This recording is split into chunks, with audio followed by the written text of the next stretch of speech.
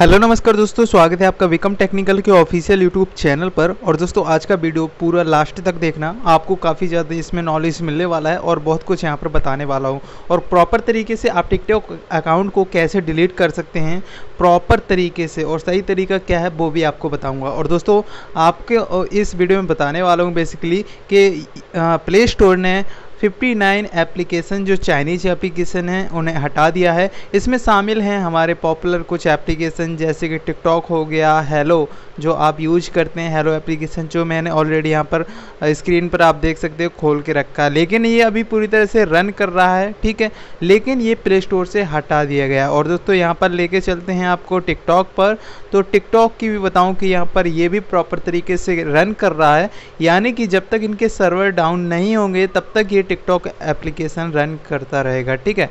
और हो सकता है कि इन फ्यूचर इनका जो ए है, वो लोगों को दे दी जाए तो उससे लोग अपना काम चला सकते हैं। लेकिन अगर इनका सर्वर डाउन होता है तो यहाँ पर इन्हें बिल्कुल ही रन नहीं करेगा इंडिया में। टिकटॉक हो, चाहे हेलो हो और अदर जो एप्लीकेशन है, जो रिमूव किए गए हैं, ठीक है?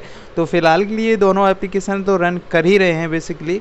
और जो 59 एप्लीकेशन जो हटाए गए हैं प्ले स्टोर से, उसका आप स्क्रीन पर देख सकते हो कौन कौन से एप्लीकेशन हैं। अब दोस्तों, आपको ले चलते हैं हम अपने प्ले स्टोर में और आपको दिखाते हैं कि हेलो एप्लीकेशन और TikTok TikTok application Play Store में है या नहीं? तो सबसे पहले तो हम टिकटॉक को देख लेते हैं। तो यहाँ पर आप देख सकते हो कि सबसे ऊपर आता था टिकटॉक, लेकिन यहाँ पर टिकटॉक एप्लीकेशन रिमूव कर दिया गया है। इसके बाद दोस्तों बात करते हैं अगर हेलो एप्लीकेशन की। इसके भी बहुत सारे यूज़र्स हैं और ये एक चाइनीज़ एप्लीकेशन था। तो ये हेलो एप्लीकेशन भी प्ले स्टोर की तरफ़ से हटा दिया गया है, ठीक है? और यहाँ पर आप स्क्रीन पर देख सकते हो पूरी लिस्ट की लिस्ट के कितने एप्लीकेशन हटा दिए गए हैं। टोटल 59 एप्लीकेशन जो कि चाइनीज़ एप्लीकेशन थे, हटा दिए गए हैं। तो दोस्तों, यहाँ पर हम बात करने वाले हैं कि टिकटॉक को कैसे परमानेंटली हम डिलीट कर सकते हैं, उसके बारे में बात करते हैं। तो सिंपल आपको करना क्या है कि मी वाले सेक्शन पर चले जाना है। इसके बाद दोस्तों यहाँ पर थ्री लाइन का ऑप्शन यानी कि थ्री डॉट का ऑप्शन मिल जाता है। सिंपल इस पर आपको क्लिक कर देना बाद मैनेज अकाउंट का ऑप्शन मिल जाता है। इसके बाद डिलीट अकाउंट का आपको ऑप्शन मिल जाता है। तो सिंपल आप डिलीट के अकाउंट पर क्लिक कर देना है और डिलीट अकाउंट पर क्लिक करने के बाद जो आपका मोबाइल नंबर होगा, उस पर एक वेरिफिकेशन कोड जाएगा। उस कोड को यहाँ पर डालकर कंटिन्यू कर दीजिए, ठीक है?